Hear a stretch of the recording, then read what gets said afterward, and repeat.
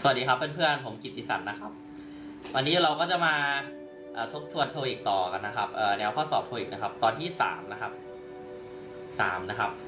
ก็ตอนที่สามก็จะเป็นข้อห้าเป็นต้นไปข้อห้ากับข้อหกนะครับ เพราะว่าผมทำตอนละสองข้อนะครับ ไปกันเลยนะครับข้อห้านะครับ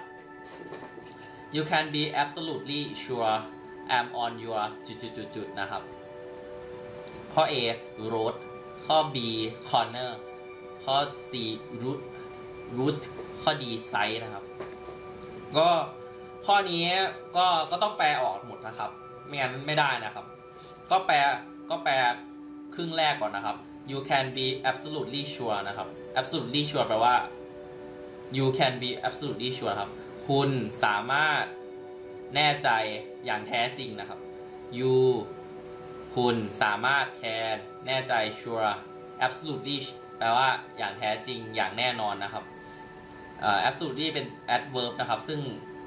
ขยายนะครับ adjective นะครับ คือคำว่า sure นะครับอืมครับ ก็นะครับ แล้วก็ I'm on your จุดจุดจุดจุดนะครับ ผมอยู่บนคุณ ผมอยู่กับคุณอะไรกับคุณนะครับ ก็ ข้อหนึ่งผมอยู่ถนนเดียวกับคุณ I'm on your side ผมอยู่ I'm on your road ผมอยู่ถนนเดียวกันกับคุณ ผมอยู่ถนนคุณ ข้อที่สอง I'm on your corner ผมอยู่มุมกับผมอยู่มุมของคุณ ข้อสาม route แปลว่าเส้นทางครับ ผมอยู่เส้นทางของคุณ ข้อสี่ side แปลว่าข้างครับ ผมอยู่ข้างคุณนะครับ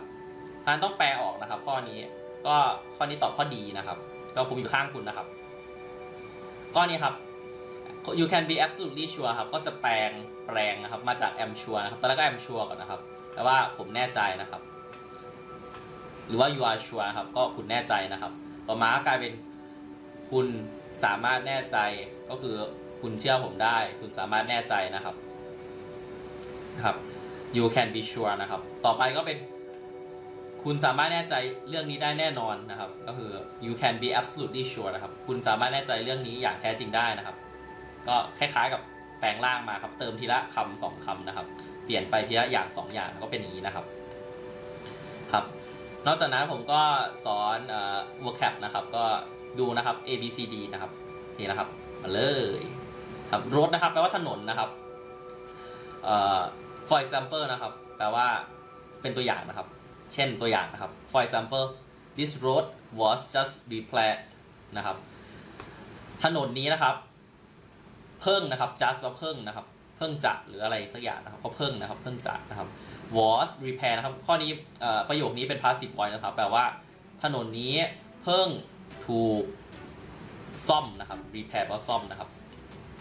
เพราะเป็น passive voice ครับ เราจะมีคำว่าถูกด้วยนะครับ พอเราแปลนะครับ เช่น ถนนนี้ was just repair ถนนนี้เพิ่งถูกซ่อมนะครับ ต่อมาครับ corner นะครับ แปลว่ามุมนะครับ เช่นนะครับ when you turn right at the corner นะครับ over there นะครับ you can will see a candy shop นะครับคำแปลนะครับ เมื่อคุณเลี้ยวขวาที่มุมตรงนั้นนะครับ over there นะครับ ตรงนั้นนะครับ คุณ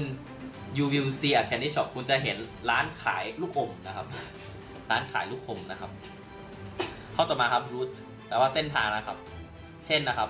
we will follow this route to get to the next town นะครับ คือ พวกเราจะตามนะครับเส้นทางนี้ไปนะครับ เพื่อที่จะไปถึงเอ่อเมืองข้างหน้านะครับ we will follow this road นะครับ this route นะครับ ก็แปลว่าเหมือนตอนใช้ GPS GPS นะครับ ในรถนะครับ มันก็จะมีบอกเส้นทางครับนี่แหละครับคำนี้คือคำว่า route นะครับ เส้นทางครับแล้วคำสุดท้ายแปลว่าข้างครับ คืออยู่ข้างเรานะครับ ก็ตามข้อ 5 นะครับ you can be absolutely sure I'm on your side นะครับ แต่ว่า ผมอยู่ข้างคุณนะครับ ข้อต่อมาข้อ 6 นะครับ please จุดจุดจุด me for interrupting you I didn't realize realize you were you were busy with someone else นะครับก็ข้อ A นะครับ forget นะครับ ข้อ B forfeit นะครับ ข้อ C forbid นะครับ ข้อ D forgive นะครับก็ข้อนี้ยังไงก็ต้องแปลนะครับ ปลประโยคก่อนนะครับ โปรดหรือว่ากรุณานะครับ จุดๆฉันสำหรับนะครับ for นะครับสำหรับ interrupting นะครับหลังบุพบทนะครับ ปกตินะครับ ถ้าจะใส่ verb นะครับ ก็ต้องใส่ ing ด้วยนะครับสำหรับการขัดขวางคุณ interrupting แปลว่าขัดขวางครับ you ครับ I didn't realize ครับ ฉันไม่รู้นะครับ คุณ you was busy with someone else คุณ ยุ่งอยู่กับคนอื่นนะครับ someone else ว่าคนอื่นนะครับนะครับ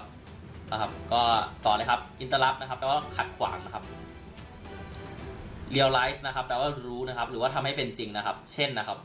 in the next 10 years I will realize my dream dream นะครับปกติมันมีใช้ 2 แบบครับมันเป็นความหมายที่แตกต่างกันโดยสิ้นเชิงนะครับ เช่นอันนี้นะครับ ฉันไม่รู้นะครับ I didn't realize realize นะครับ แต่ว่าในประโยคนี้นะครับ ในอีก10ปีข้างหน้าครับใน10ปีข้างหน้า ฉันจะทำความฝันให้เป็นจริงนะครับ I will realize my dream dream นะครับ ก็จะทำความฝันให้เป็นจริงนะครับนี่นะครับสำหรับ choice ตัวเลือกต่างๆ ครับ ก็มีข้อนี้ตอบข้อดีนะครับ แปลว่าให้อภัยนะครับนี่นะครับครับ please forgive me for interrupting you นะครับ โปรดให้อภัยฉันสำหรับการที่ไปขัดขวางคุณนะครับ ฉันไม่รู้จริงๆว่าคุณกำลังยุ่งอยู่กับคนอื่นนะครับ เนี่ยครับคำเต็มนะครับ ก็ตอบดีนะครับแต่ว่าให้อภัยนะครับ โปรดให้อภัยฉันนะครับ please forgive me นะครับสำหรับคำอื่นนะครับ forget นะครับแปลว่าลืมนะครับ เช่นนะครับ don't forget our promise โอเคโปรดอย่าลืมสัญญาของเรา เข้าใจไหมครับนะครับ สัญญาว่าจะทำตัวเองให้ได้ดีๆนะครับ ตั้งใจเรียนภาษาอังกฤษนะครับ don't forget our promise don't forget our promise โอเคนะครับ ต่อไปนะครับ forfeit นะครับแปลว่าสูญเสียครับ เนื่องจากถูกถูกริบนะครับสิทธิ์นะครับ เช่น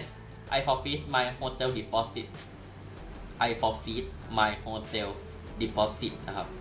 ก็ฉันเสีย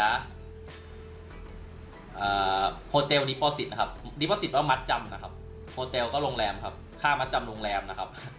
ฉันเสียค่ามัดจำโรงแรมครับสงสัยไปผิดวันนะครับ ก็เลยเสียไปนะครับค่ามัดจำครับต่อไปครับ forbid แปลว่าห้ามนะครับ เช่น we will follow the เอ่อโอ้อันนี้ครับเอ่อลืมนะครับผิดนะครับก็ ก็ประโยคนี้ก็ผิดนะครับ แต่ว่าผมจะแต่งตอนนี้นะครับ ก็เช่น I forbid you to talk in Thai แต่ว่าฉันห้ามคุณ พูดภาษาไทยนะครับ I forbid you to talk in Thai นะครับ ฉันห้ามคุณพูดภาษาไทยนะครับสำหรับวิดีโอนี้ก็ข้อ 5 ข้อ 6 นะครับ ต่อไปก็จะเป็นข้อ 7 ข้อ 8 นะครับ ในวิดีโอที่ 4 นะครับ ก็ stay tuned นะครับติดตามชมตอนต่อไปนะครับ แล้วก็เราก็เจอกันใหม่นะครับ I will see you again in the next video บ๊ายบายนะครับ ผมก็จะใส่ลิงก์นะครับ โทรอีกนะครับ ข้างล่างนะครับ ก็ลองดูนะครับข้างล่างนะครับ ผมก็จะมีใน description นะครับ ก็ I will see you again in the next video นะครับ บ๊ายบายนะครับ เจอกันใหม่นะครับ